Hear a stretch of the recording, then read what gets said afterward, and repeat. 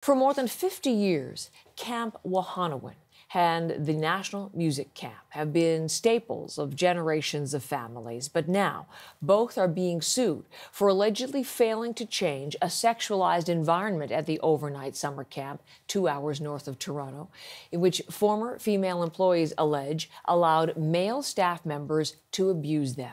Now, we do want to warn you this morning there is disturbing content in this report. It may be triggering for anyone who has experienced sexual violence or knows someone affected by it. But the exclusive story this morning from our Angela King. The two women who were teens at the time described what happened to them as grooming. They met Tom Lees at the camp. He was helping to run the theater department. They say he was talented and popular. They were 15. He was nearly double their age. We're not identifying the women who were underage victims of sexual abuse. Instead, we'll call them Anne and Paige.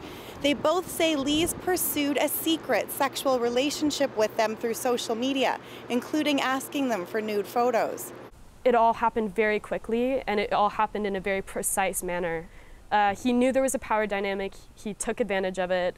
In the summer of 2019, Anne says she discovered Lees was holding private rehearsals with a preteen girl at camp.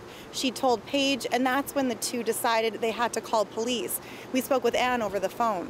I felt more of a responsibility to protect everyone else that I knew and every other camper in that camp from experiencing him in the way that I did. Lees was arrested at camp. Months later, he pleaded guilty to luring a person under 16 and possession of child pornography. The lawsuit claims the camp was negligent in failing to change its sexualized camp environments, which allowed for illegal and immoral sexual activities with children who were under their supervision. It also claims Paige and Anne were victims of sexual abuse by two other male staff members.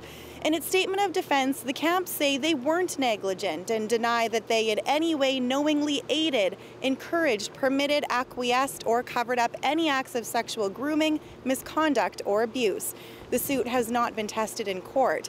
But two former senior staff members told CBC News they warned the camp's leadership about Lees in 2017, the same summer he met Paige. One of those staffers say she argued during a 2018 meeting he should not be hired back but he was.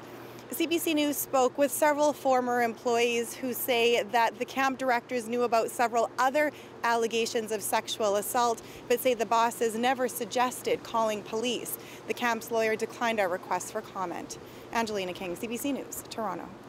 Now, there's much more into this year long investigation into sexual abuse allegations at the camp up on our website. An interactive feature for you there at cbcnews.ca.